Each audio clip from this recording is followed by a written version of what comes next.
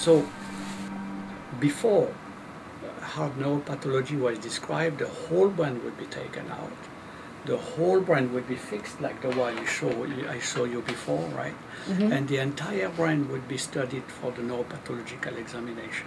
So we needed to accumulate enough experience to know that in neurodegenerative disease, what happened in one half of the brain does occur in the other half, unless proven otherwise, right? When the brain comes, we have to decide which half is used for research and which half for diagnosis.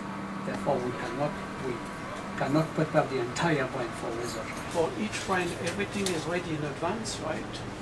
And we dissect the brain, coronal section, and all the coronal slices are put here, and we dissect. And each block are taken according to that Brodmann map. As on BA10, you know, BA4 would be here, BA6, you know, BA17, BA18. We use a tank. We fill every day with liquid nitrogen, and after it's released as a vapor, after when it's frozen five minutes later, it's transferred into with a barcode into the bag, put in minus 80 freezer.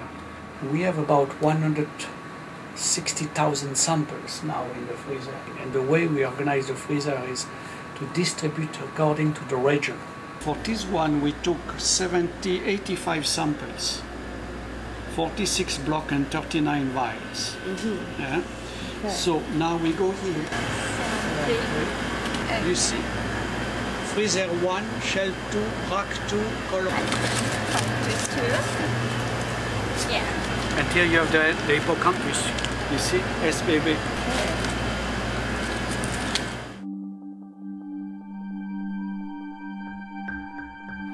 And the other half is fixed and used for the neuropathological examination. This is from the half that we use for the diagnosis. And we cut very thin, you see about 3 millimeter uh, thin to make sure to assess every part of it. Now here you have the amygdala and the head of the hippocampus. This is an area of high vulnerability in Alzheimer's disease. So basically that you will have neuronal loss, neurofibrillary tangles of Alzheimer, neuritic plaque, uh, astrocytosis. Between the cortex and white matter, you have a sharp demarcation. The neurons, which give the, mainly the gray part, myelin, which give the white aspect for it. If you look here, there is blur demarcation. You don't see the gray white, it's all gray. That means all the neurons are gone, replaced by astrocytes, right? And this is the part from the fixed half that was taken for the neuropathological examination. This is the antibody against the abnormal tau.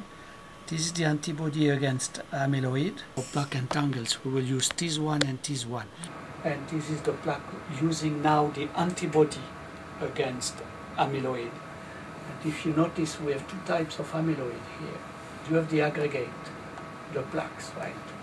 And in addition, you see the amyloid in the wall of the blood vessels. So this patient has both parenchymal amyloid and vascular amyloid. This is now use an antibody against the abnormal tau. Tau is a protein uh, that plays a role in the skeleton of the of the neurons, and all the dark brown discoloration here illustrates what is abnormal. And you have the neurofibrillary tangles of Alzheimer, the neurons that are involved. And in between, you have the negative neurons that are normal, apparently normal. I believe that we will be able to slow down the course of the disease sufficiently to protect the quality of life up to the end, right? Cure, I think, is, is very, is very ambitious, at least with what we know today.